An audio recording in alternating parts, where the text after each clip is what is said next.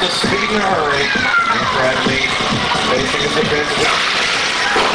Oh, and the wheel right off the side of Bradley. That continues. Yeah. And Bradley. Now it's all.